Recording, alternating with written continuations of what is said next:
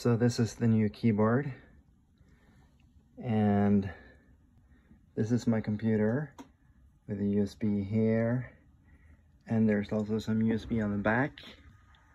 And here's where I've put in the, the USB from the keyboard. And the injection looks like this. Yeah, let's see. Oh.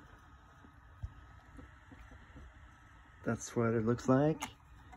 Put it back in. And um, yeah, and then there's this other one, this other wire that I'm not really sure where it's supposed to go, but it does fit right here on this one. Whoops. Oh. um, it's not the easiest to attach wires when you're holding your iPhone, but I'll give it another try.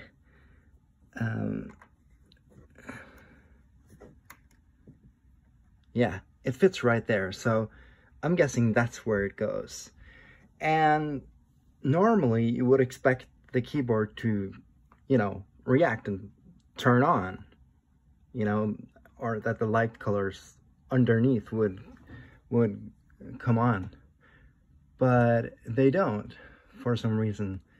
And um, yeah. And for example, if I'm opening a notepad right now on the computer, there's absolutely no reaction from from the from the keyboard, which is weird because my old keyboard would react right away and type without trouble. So I think that's quite strange. So um, hopefully I can get help out there to sort this issue out.